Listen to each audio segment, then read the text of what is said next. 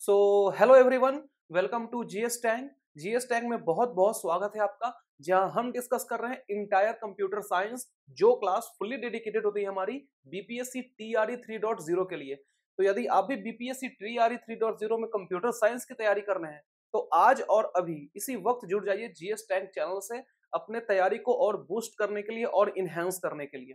तो यही बात करते हैं हम लोग पिछले सेशन की। तो पिछले सेशन में हमने कंप्लीट किए थे कंप्यूटर नेटवर्क पार्ट वन जी हाँ पार्ट वन जो क्वेश्चन थे इजी टू मॉडरेट वो हमारा कंप्लीट हो चुका था, ठीक है? और आज होने वाला है कंप्यूटर नेटवर्क पार्ट टू जिसमें हम डिस्कस करेंगे मॉडरेट टू हाई लेवल के क्वेश्चंस तो यदि आपने पार्ट वन को मिस किया है, किसी भी कारण से तो पहले जाकर आप पहले पार्ट वन देखेंगे, उसके बाद पार्ट टू देखेंगे, क्योंकि पहले बेसिक क्वेश्चंस आने ज़रूरी हैं, उसके बाद hard questions high level questions होते रहते हैं, ठीक है? तो पहले आप पार्ट वन देखेंगे, फिर पार्ट टू देखेंगे। क्लियर है बात? तो आगे बढ़ते हैं। तो आगे बढ़े इस वीडियो में, उसके पहले आप लाइक कर दीजिए वीडियो को। वीडियो को ज़्यादा से ज़्यादा शेयर करिए रेस्पॉन्स उतना अच्छा नहीं आ रहा है। और रिस्पॉन्स ज़्यादा अच्छा रहेगा, तभी हमको पढ़ाने में भी आपको मज़ा आएगा, ठीक है? और सब्सक्राइब अभी तक भी आपने नहीं किया है तो सब्सक्राइब कर लीजिए। एकदम फ्री है सब्सक्राइब करना। और बेल आइकन को भी प्रेस कर दिए ताकि हर एक अपडेट आपको सबसे पहले मिले। और साथ ही साथ पूरा सेशन देखने के बाद मुझे कमेंट करके आप ज़रूर बताएँगे कि आपको ये सेशन कैसा लगा। आप लोग कमेंट करते नहीं है, बढ़ चढ़ के हिस्सा लीजिए कमेंट कीजिए और बताइए कि आपका पूरा ओवरऑल एक्सपीरियंस कैसा रहा पूरा सेशन देखने के बाद। ठीक है? तो आइए नज़र डालते हैं आज के पहले क्वेश्चन पे। तो आज का जो पहला क्वेश्चन है, वो कहता है कि which of this which of this is a standard interface for serial data transmission यानी कह रहा है कि स्टैंडर्ड इंटरफेस आपसे पूछ रहा है सीरियल डेटा ट्रांसमिशन के लिए। और आपके ऑप्शन है ए एस सी आई आई जिसको आसिकी बोलते हैं आप R S two three two C two A B Centronics more than one of the above none of the above देखिए आई एस सी आई आई पता है आपको क्या? American standard code for information interchange ठीक है? एनी हाउ आप full form हर एक टर्म का ध्यान में रखेंगे। जितना भी टर्म हम आपसे डिस्कस करते हैं, सारे फुल फॉर्म्स आप ध्यान में रखेंगे, ठीक है? और इस क्वेश्चन का जो करेक्ट आंसर है, वो है option B R S two three two C अब ये होता क्या है? तो जो आपका R S two three two C है, वो सिंपली एक स्टैंडर्ड इंटरफेस है। क्या है वो? एक स्टैंडर्ड इंटरफेस है। किसके लिए? For serial data transmission for serial data transmission और प्रोटोकॉल किसके किसके बीच? Protocol between D T E D T E and D C E ठीक है? डी टी ई और डी सी ई तो डी टी ई होता क्या है बेसिकली तो डी टी क्या होता है data terminal equipment data terminal equipment ठीक है? और डीसीई क्या होता है? डीसी होता है data communication equipment data communication equipment तो सिंपली ये होता क्या है? ये आपका एक स्टैंडर्ड इंटरफेस होता है डेटा ट्रांसमिशन के लिए और प्रोटोकॉल बिटवीन किसके किसके? डीटीई और डीसीई के। तो ये बात हो गई R S two three two C की। अब आर एस का क्या मतलब है? आर एस का भी तो कुछ मतलब होगा ही ना।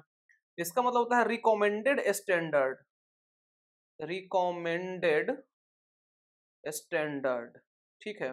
और जो सी दिख रहा है ना, वो वर्जन है आपका। जो लास्ट में आपको सी दिख रहा है वो सी आपका वर्जन है, ठीक है?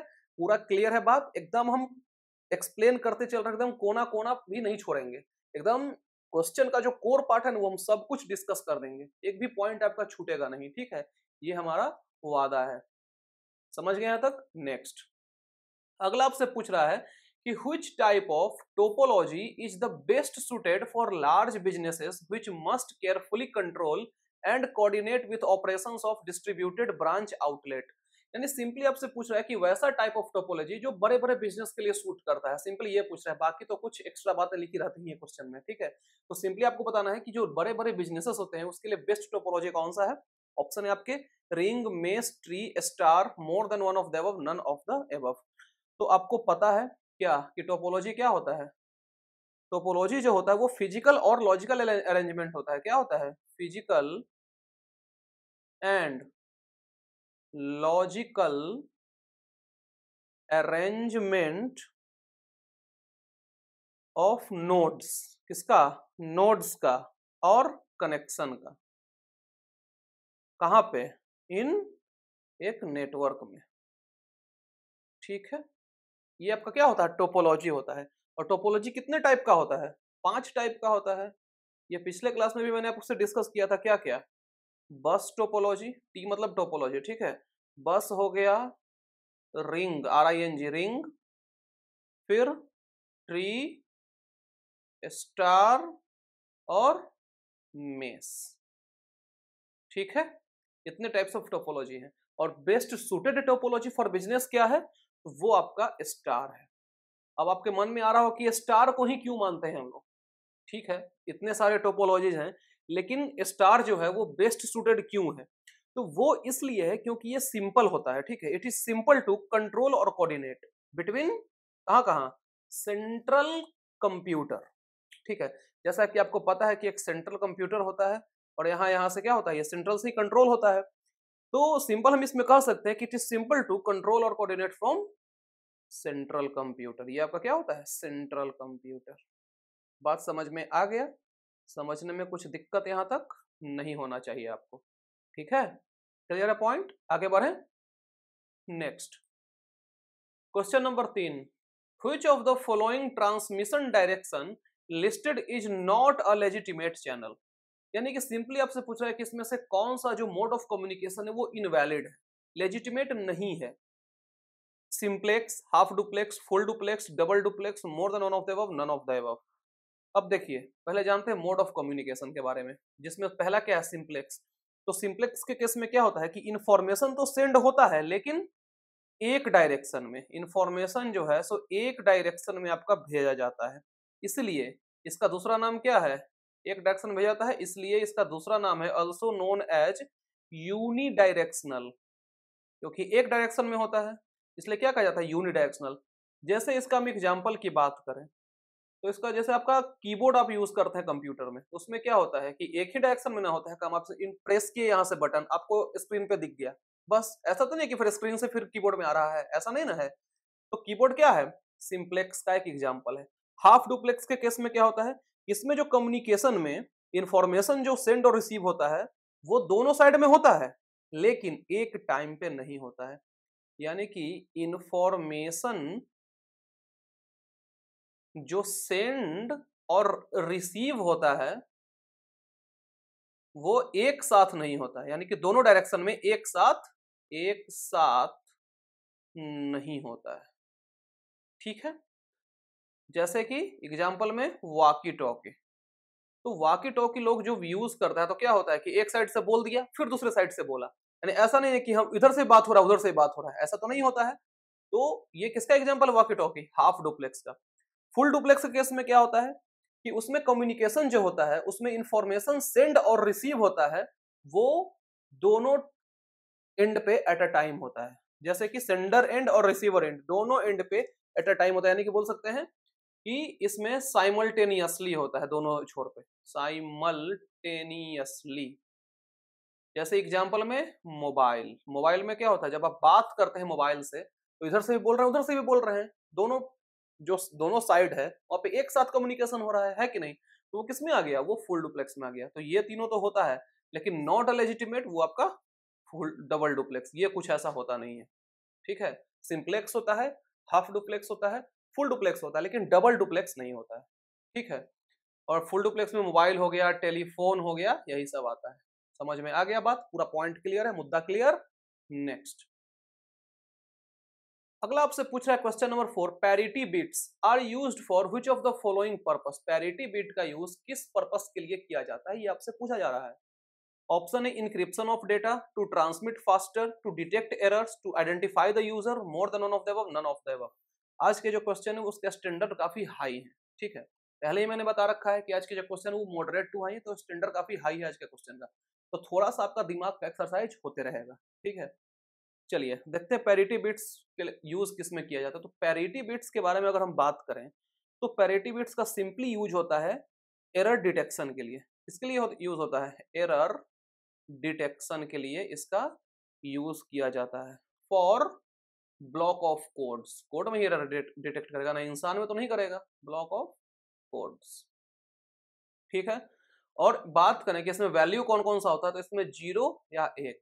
ये इसी वैल्यू पे काम करता है, ठीक है? पैरिटी बिट्स आपका। और पूछे कि इसका दूसरा नाम क्या है पैरिटी बिट्स का?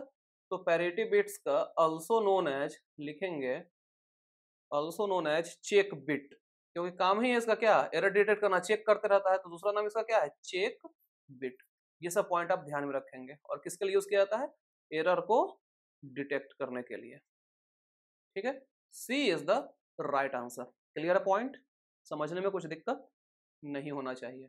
नेक्स्ट क्वेश्चन फाइव कह रहा है कि collection of hyperlinked document on the internet forms what जो हाइपर लिंक्ड डॉक्यूमेंट के कलेक्शन होते हैं इंटरनेट पे, वो क्या बनाते हैं? वर्ल्ड वाइड वेब जिसको शॉर्ट में डब्ल्यू बोलते हैं email system mailing system hypertext markup language जिसको शॉर्ट में एल बोलते हैं more than of the above none of the above बताइए करेक्ट आंसर इसका क्या हो जाएगा? तो जो कलेक्शन होते हैं हाइपर लिंक डॉक्यूमेंट को जो इंटरनेट पे बनते हैं, वो क्या होते हैं? World wide web that forms on internet forms क्या करता है? डब्लू डब्लू डब्लू को इंटरनेट फॉर्म करता है और पूछे कि डब्लू डब्लू डब्लू का आविष्कार किसने किया था? तो वो किए थे sir Tim Berners Berners Lee. Sir Tim Berners Lee के द्वारा किया गया था। साल कोई आपसे पूछे तो उन्नीस सौ नवासी नब्बे का समय था। ठीक है? अब इससे ज़्यादा आपको जानने की ज़रूरत नहीं है। ठीक है? क्लियर है बात? आगे बढ़े। नेक्स्ट एचटीटीपी का फुल फॉर्म क्या है? सिंपली आपसे ये पूछा जा रहा है। फुल फॉर्म से आपको ध्यान देना है। हम बार बार हर क्लास में बोलते हैं। ठीक है कि फुल फॉर्म्स पे आपको ध्यान देना ही देना है। ऑप्शन आपके hyper terminal tracing program hypertext tracking protocol hypertext transfer protocol hypertext transfer program more than one of the above none of the above तो एच होता क्या है? उसका यूज़ किसके लिए किया जाता है एच का? सिंपली हम यूजेज को जानते हैं। तो एच का यूज़ किया जाता है इसके बारे में लिखेंगे कि use to load web pages ठीक है? किसके यूज़ से? Using hypertext link using hypertext link यानी कि सिंपली हम बोले तो जो एच है, इसको यूज़ किया जाता है वेब पेज को लोड करने के लिए। और किसके मदद से? हाइपर टेक्स्ट लिंक के मदद से। और इसका फुल फॉर्म क्या होता है? Hypertext transfer protocol H C is the right answer ठीक है? सी इसका बिल्कुल सही जवाब है। क्लियर है मुद्दा? आगे बढ़े। नेक्स्ट क्वेश्चन सेवन कह रहा है कि a proxy server is used as computer proxy server को कंप्यूटर के तौर पे यूज़ किया जाता है किस चीज़ के लिए? With external access acting as a backup performing the file handling accessing using permissions more than of the none of above. Proxy server का यूज़ क्यों किया जाता है? किसके साथ यूज़ किया जाता है? ये आपसे पूछा जा रहा है। तो हम बात करें, पहले जानिए कि प्रॉक्सी सर्वर होता क्या है। वो जानेंगे तो फिर आपको क्लैरिटी ज़्यादा मिल जाएगी, फिर हमको आंसर बताने का ज़रूरत भी नहीं पड़ेगा, शायद। तो सिंपली हम बोले तो proxy server is a computer. ये क्या होता है सिंपली? एक कंप्यूटर नाम में क्या लगा हुआ है? सर्वर लगा हुआ है तो सर्वर किसे बनेगा? कंप्यूटर रहेगा ना उसमें। तो ये क्या होता है? एक कंप्यूटर होता है जो कि एक्ट करता है। That acts as gateway gateway के तरह ये काम करेगा। एक्ट्स एज अ गेटवे और किसके किसके बीच गेटवे यूज़र का जो कंप्यूटर है ना यूज़र्स कंप्यूटर और इंटरनेट के बीच। इंटरनेट के बीच। ठीक है? तो सिंपली जो प्रॉक्सी सर्वर होता है, वो एज अ गेटवे काम करता है यूज़र के कंप्यूटर और इंटरनेट के बीच में, ठीक है? और ये किसके साथ यूज़ किया था? एक्सटर्नल एक्सेस के, with external access. A is the right answer अब देखिए, सिंपली आप प्रॉक्सी टर्म भी सुने होंगे, कहीं ना कहीं ज़रूर सुने होंगे। सुनते ना कि हाँ प्रॉक्सी यूज़ करते हैं हम। तो प्रॉक्सी सर्वर या फिर प्रॉक्सी, यहाँ पे बात हो रही है, प्रॉक्सी ऐप हो गया ठीक है? तो उसका यूज़ किया ही इसलिए जाता है ताकि आप जो ब्लॉक वेबसाइट है, ठीक है? जो ब्लॉक्ड वेबसाइट है, उसको आप एक्सेस कर सकें। यानी कि उस ब्लॉक्ड वेबसाइट को अनऑथोराइज एक्सेस आप कर सके, उसके लिए आपको प्रॉक्सी का यूज़ किया जाता है। और प्रॉक्सी ऐप में शायद नाम भी होता है क्या P S I P H O N Psiphon एक ऐप भी आता है तो बहुत सारे प्रॉक्सी ऐप्स होते हैं, ठीक है? जो उसको एज अ वीपीएन आप यूज़ करते हैं तो उसमें क्या काम होता है? प्रॉक्सी का ही काम होता है ना? अब समझ में आ गया पूरा बात? ठीक है? आगे बढ़े। नेक्स्ट आठवां क्वेश्चन कह रहा है कि which software prevents the external access to our system अभी हमने बात किया था कि कैसे उसमें घुसना है हमको। जैसे एक जो ब्लॉक्ड वेबसाइट है उसमें घुसना है। लेकिन अगला क्वेश्चन आठ नंबर यह कह रहा है कि कौन सा सॉफ्टवेयर का यूज़ किया जाता है एक्सटर्नल एक्सेस को प्रिवेंट करने के लिए? Firewall gateway router virus checker more than of the none of the above तो फायरवॉल का यूज़ किया जाता है प्रिवेंट करने के लिए। किसका यूज़ किया जाता है? फायरवॉल का यूज़ किया जाता है। और फायरवॉल के बारे में हम एक लाइन लिख लेंगे एकदम सिंपल शब्दों में कि acts as filter acts as filter के तौर पे ये काम करता है और किसके लिए? नेटवर्क के लिए। ठीक है? हमारे पर्सनल काम के लिए नहीं नेटवर्क के लिए।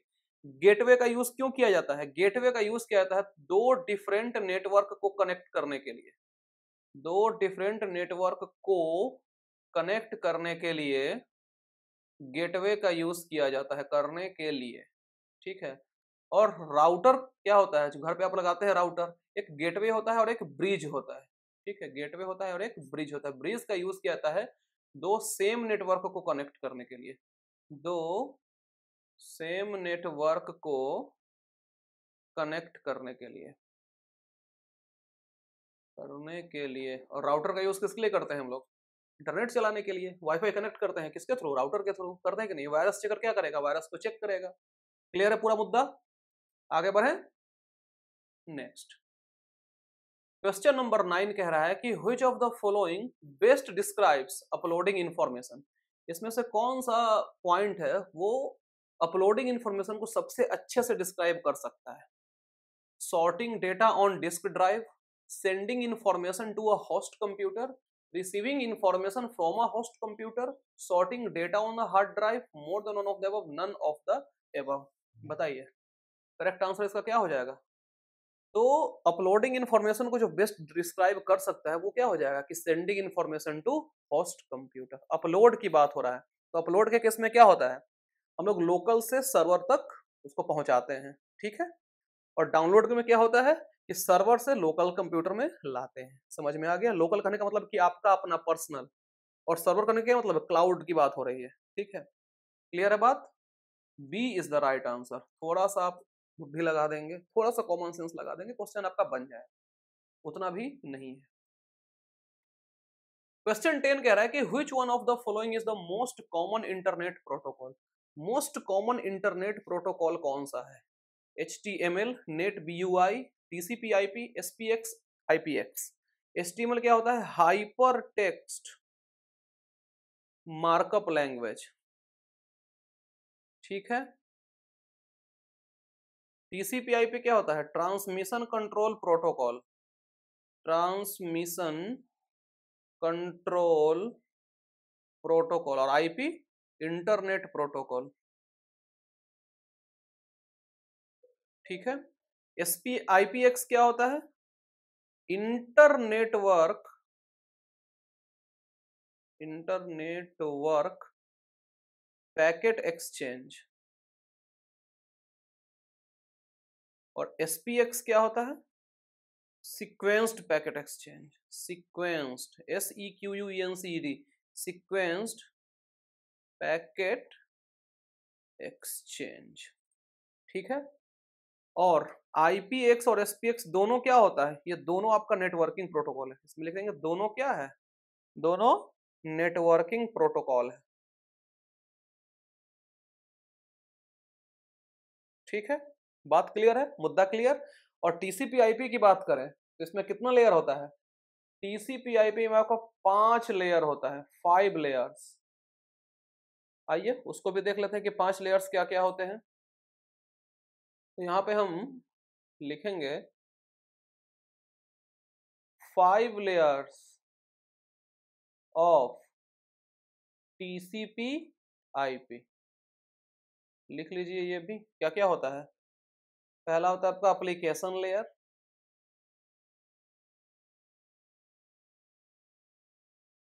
कि जितना लिखवाते चल रहे हैं, सब कुछ आप नोट डाउन करते चलेंगे। दूसरा होता है ट्रांसपोर्ट लेयर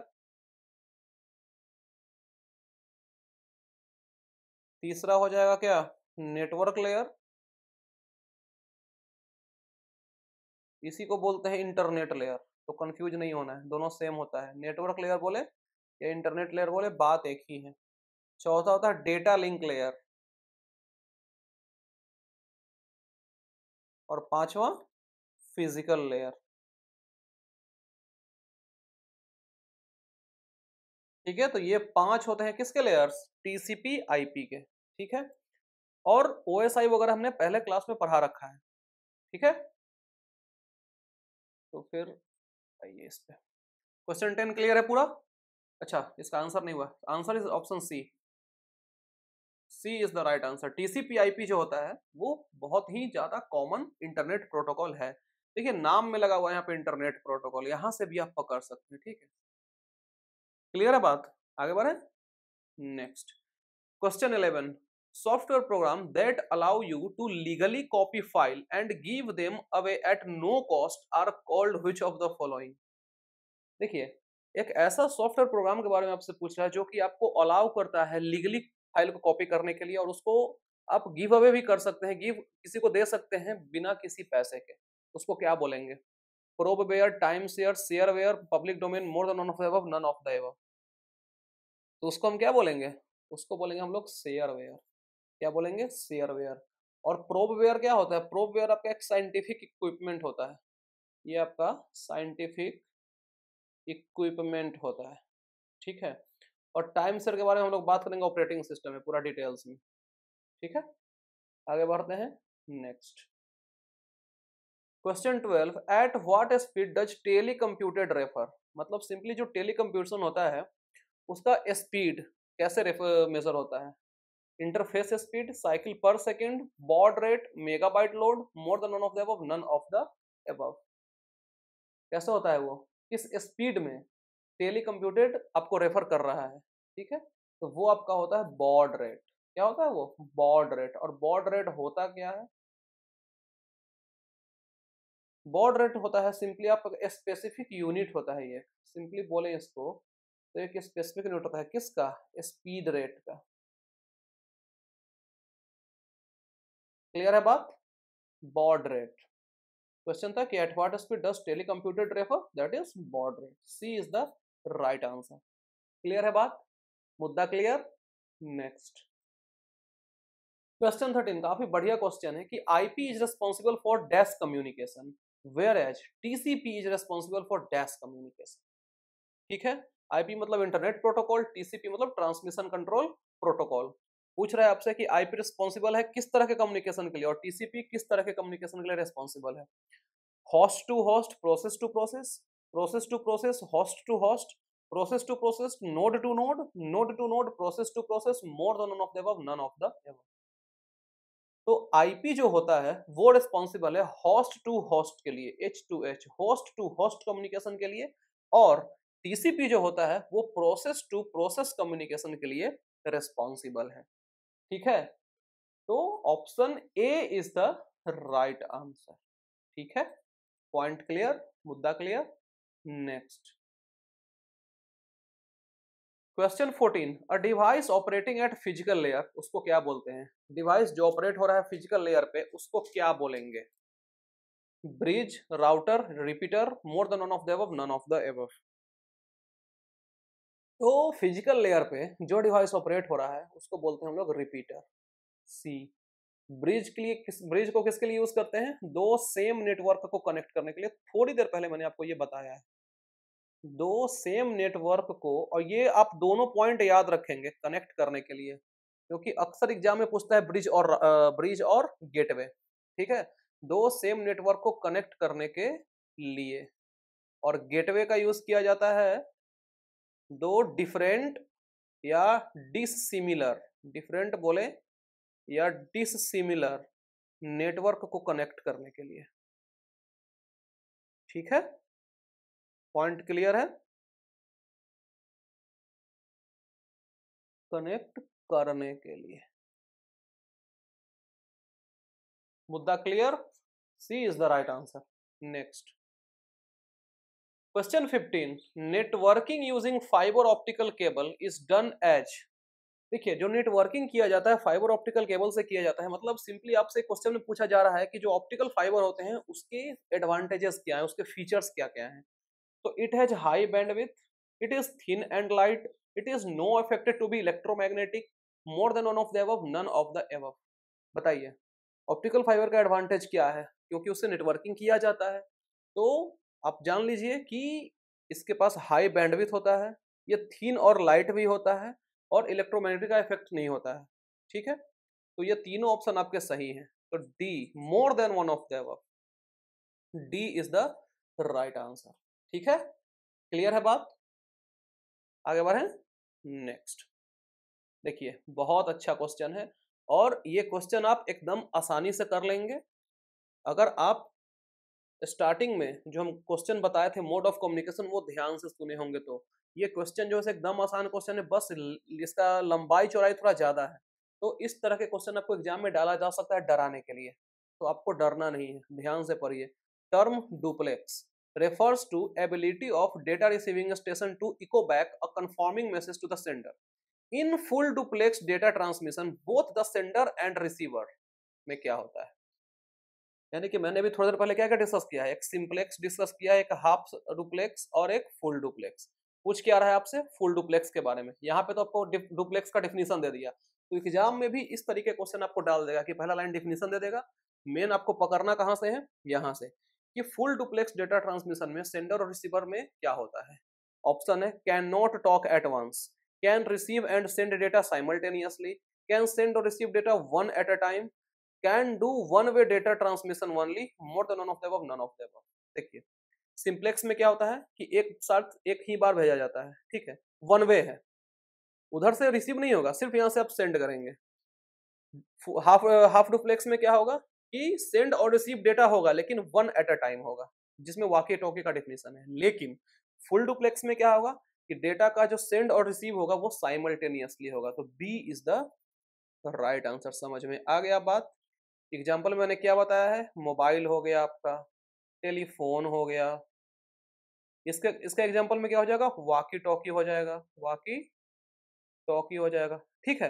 क्लियर है बात? समझ में आ गया ना? तो बस देखने में क्वेश्चन ज़्यादा लंबा चौड़ा है, है कुछ नहीं। थोड़ा सा कॉमन सेंस लगाएँगे आपका बन जाएगा। बस कंसेप्ट को आपको क्लियर रखना है। 17 it is a self replicating program that infects computer and spread by inserting copies of itself into other executable code or document is called what? Self replicate, यानी कि अपना कॉपी और जनरेट करते जा रहा है। ऐसा ये प्रोग्राम है जो कि इन्फेक्ट करता है आपका कंप्यूटर को। और स्प्रेड ये कैसे होता है? जब आप कोई भी डेटा या डॉक्यूमेंट्स को बार बार कॉपी कर रहे हैं तो अपने आप इसका एक एक्स्ट्रा कॉपी बन जाता है, जो कि एग्जीक्यूटेबल कोड में कन्वर्ट हो जाता है। उसको क्या बोलते हैं? Key logger worm, virus, cracker, more than of the none of the key logger किसको बोलते हैं? तो की लॉगर अगर हम बोले तो सिंपली की लॉगर आपका एक मेलवेयर भी हो सकता है या फिर की लॉगर आपका एक हार्डवेयर भी हो सकता है, ठीक है? इसका फ़ंक्शन क्या है? तो इसका फ़ंक्शन ये है कि की प्रेस के जो इवेंट होते हैं, उसको रिकॉर्ड करता है। यानी इसके बारे में लिखेंगे, ये इसी के बारे में कि records the event of key press जो भी आपके कीबोर्ड से बटन प्रेस होते हैं, वो इवेंट को ये रिकॉर्ड करता है, ठीक है? क्या? की लॉगर और इस क्वेश्चन का जो करेक्ट आंसर है, वो है C virus C C virus is the right answer ठीक है? पॉइंट क्लियर है? आगे बढ़े नेक्स्ट अब पूछ रहा है कि अ पर्सन एक इंसान के बारे में जो कि यूज़ करता है हिज और her expertise to gain access to other people computer to get information illegally और to do damage is called what यानी कि एक ऐसा इंसान के बारे में जो कि अपना होशियारी दिखाता है किसी दूसरे के कंप्यूटर का एक्सेस गेन करने के लिए और उसमें से कुछ डेटा को आप इलीगल कॉपी कर लिया या फिर वहाँ से कुछ डेटा को चुरा लिया, उसको कुछ नुकसान पहुँचा दिया। वैसे लोग क्या होते हैं, spammer, hacker, instant messenger, more than of none of. तो वैसे लोग क्या होते हैं, वैसे लोग हैकर होते हैं, ठीक है? इंस्टेंट मैसेंजर तो खैर ये तो ऐप वगैरह के नाम नाम है। तो कुछ ऑप्शंस भी आपको ऐसे रहेंगे जो आप इजिली एलिमिनेट कर सकते हैं, स्पैमर। स्पैमर किसको बोलते हैं? जो स्पैम भेजता है। और स्पैम क्या होता है? अनवांटेड ईमेल्स होते हैं। स्पैम क्या होते हैं? अनवांटेड ईमेल्स होते हैं। अनवांटेड बोले या फिर अनसोलिसिटेड मेल्स, ठीक है? उसको क्या बोलते हैं? उसको बोलते हैं स्पैम और जो स्पैम भेजता है वो स्पैमर ठीक है? समझ में आ गया ना बात? तो option B is the right answer next question 19 radio frequency RF propagation microwave transmission satellite transmission infrawave transmission Bluetooth and wifi ये सब किसके एग्ज़ाम्पल है? ये जितने भी नाम आपको दिख रहे हैं, ये सब किसके एग्ज़ाम्पल है? Unguided media guided media optical media more than of the none of the above तो आइए पहले जानते हैं हम कि गाइडेड मीडिया में क्या क्या होते हैं और अनगाइडेड मीडिया में क्या क्या होते हैं, ठीक है? तो पहले हम बात करते हैं किसके बारे में? अनगाइडेड मीडिया के बारे में। अनगाइडेड मीडिया अनगाइडेड मीडिया किसको बोलते हैं? तो अनगाइडेड मीडिया जो आपके होते हैं, वो होते हैं वायरलेस मीडिया वो क्या होते हैं? वो होते हैं वायरलेस मीडिया और इसमें क्या क्या आते हैं? तो इसमें आता है आपका वायर रेडियो वेव्स तो वायरलेस मीडिया हो गया। इसमें आता है आपका रेडियो वेव्स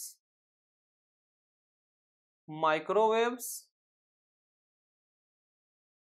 फिर आपका हो जाएगा आई आर यानी कि इंफ्रारेड वेव्स आई आर मतलब इंफ्रारेड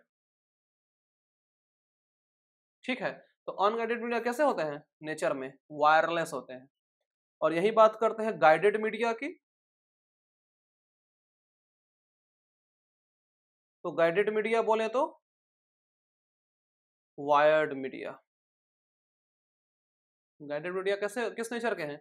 वायर्ड मीडिया और इसमें क्या क्या आता है? इसमें तीन आते हैं। ट्विस्टेड पेयर कोएक्सियल केबल और fibre optics cable. Fibre optical cable. Optical बोले फिर ऑप्टिक बोले, बात एक ही अब समझ में आ गया क्लासिफिकेशन। गाइडेड मीडिया में तीन होते हैं। क्या क्या ट्विस्टेड कोएक्सियल और fibre cable fibre optical cable और इसमें क्या क्या आते हैं अनगाइडेड में? रेडियो वेव्स माइक्रोवेव्स और इंफ्रारेड वेव्स आते हैं। और इसमें क्वेश्चन में आपसे क्या कह रहा है? यही सब के बारे में तो पूछ रहा है। करेक्ट आंसर क्या हो जाएगा? Unguided media A is the right answer ठीक है? अब देखिए ऑप्टिकल फाइबर का पे ऑप्टिकल मीडिया कर दिया तो ये सब कंफ्यूजिंग आपको दिख जाएगा ऑप्शंस ठीक है? पॉइंट क्लियर मुद्दा क्लियर आगे बढ़े? नेक्स्ट अगला क्वेश्चन कह रहा है क्वेश्चन नंबर ट्वेंटी की which layer is international standard organisation OSI model responsible for creating and recognising frame boundary creating and recognising frame boundary के बारे में आपसे पूछ रहा है। कौन सा लेयर रेस्पॉन्सिबल है इसके लिए? ये आपसे पूछ रहा है। Physical layer data link layer transport layer network layer more than of the none of the above अब देखिए ओएसआई के जो होते हैं लेयर्स यानी कि सेवन लेयर्स ऑफ़ ओएसआई के बारे में बात कर रहे हैं। सेवन लेयर्स ऑफ़ ओएसआई क्या क्या होते हैं? अप्लीकेशन लेयर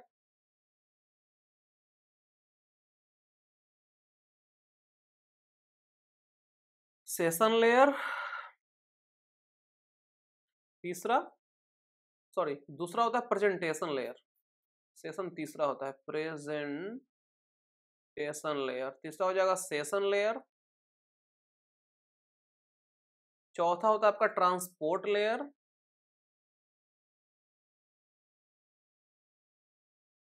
पांचवा हो जाएगा आपका नेटवर्क लेयर।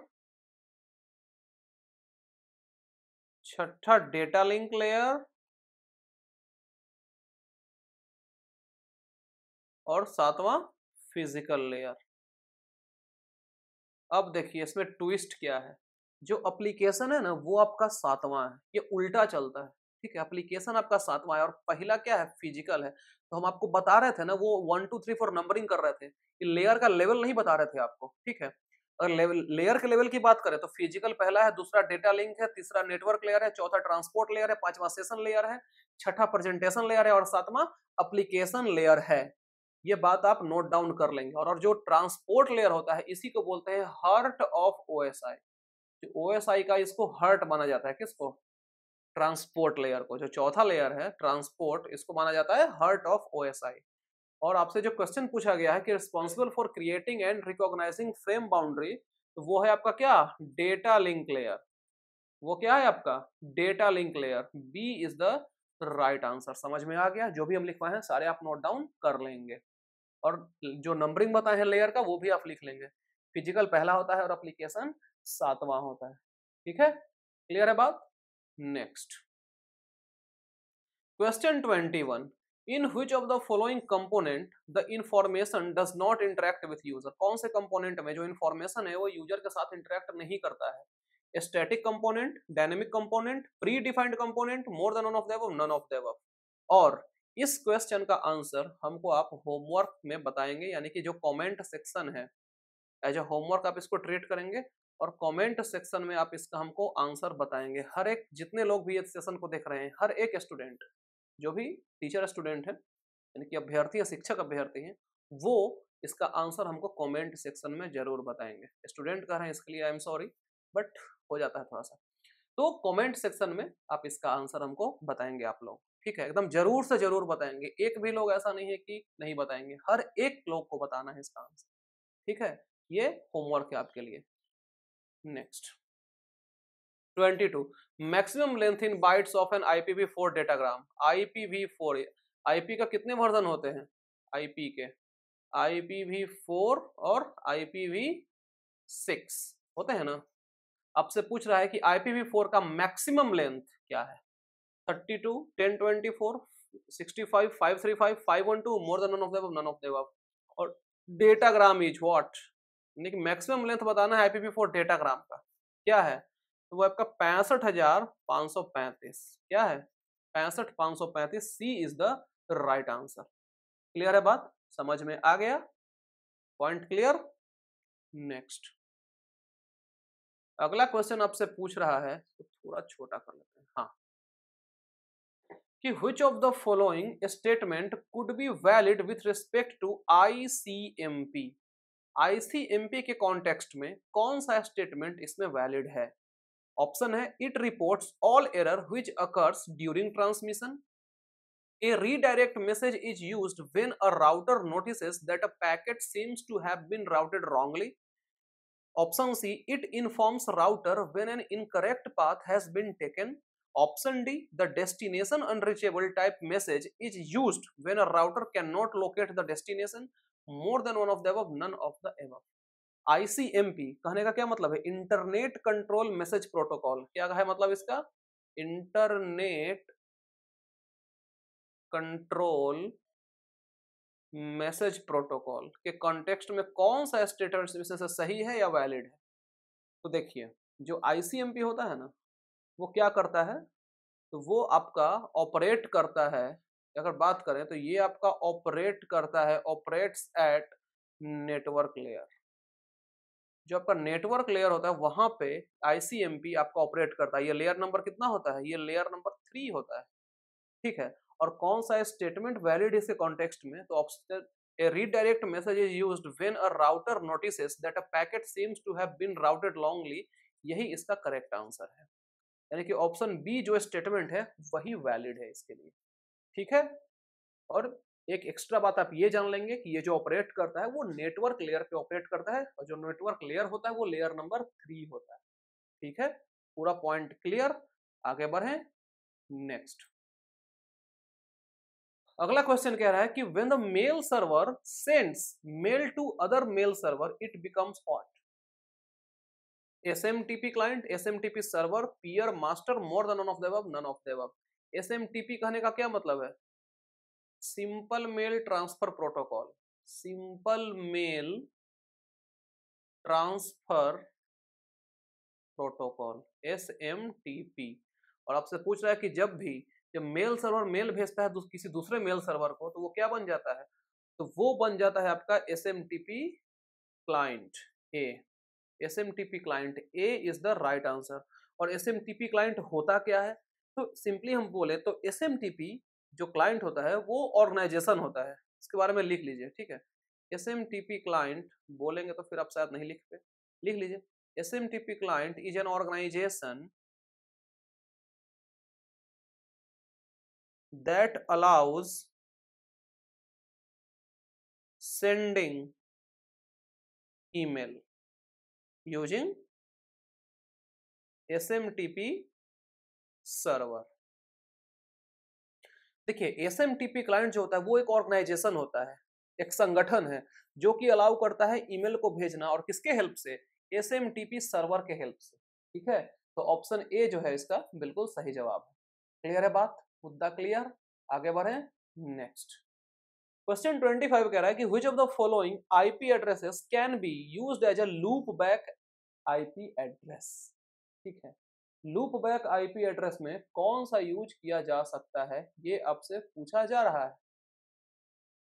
और लूप बैक आईपी एड्रेस क्या होता है?